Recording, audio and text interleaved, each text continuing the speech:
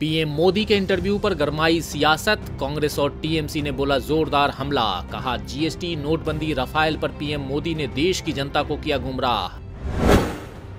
Rafale मुद्दे पर घमासान तेज, आज लोकसभा में आमने सामने होंगे बीजेपी और कांग्रेस।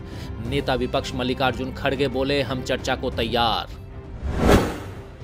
राज्यसभा में आज बरप सकता है हंगामा। तीन तलाक के मुद्दे पर विपक्ष के तेवर तल्ख, बिल पर मुहर लगवाने की कोशिश में मोदी सरकार। लोकसभा चुनाव से पहले कांग्रेस का बड़ा कदम। छह राज्यों में बनेंगे नए अध्यक्ष। राहुल गांधी के विदेश दौरे पर जाने से पहले लगेगी नामों पर मुहर। दिल्ली की सत्तारूढ़ आम आदमी पार्टी ने शुरू की लोकसभा चुनाव की तैयारी।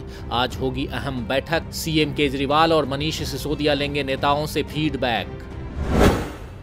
महागठबंधन को लेकर मायावती के तल्ख तेवर पर टीडीपी की नसीहत। कहा, सभी दलों को मतभेद भुलाकर आना चाहिए साथ। सबके साथ से ही तय होगी बीजेपी की हार। आज से शुरू होगी असम एनआरसी में नामों में बदलाव प्रक्रिया। 31 जनवरी तक लोग दोबारा दाखिल कर सकते हैं अर्जी। पहले ड्राफ्ट में 40 लाख लोगों को किया गया है बाहर। सीएम बनने के बाद पहली बार कांकेर पहुँचेंगे CM Bhupesh Baghel. Circuit house तक निकालेंगे रोड शो। सीएम बघेल के कार्यक्रम को लेकर तैयारियाँ तेज। पंजाब के आठ जिलों में आज फिर होंगे पंचायत चुनाव।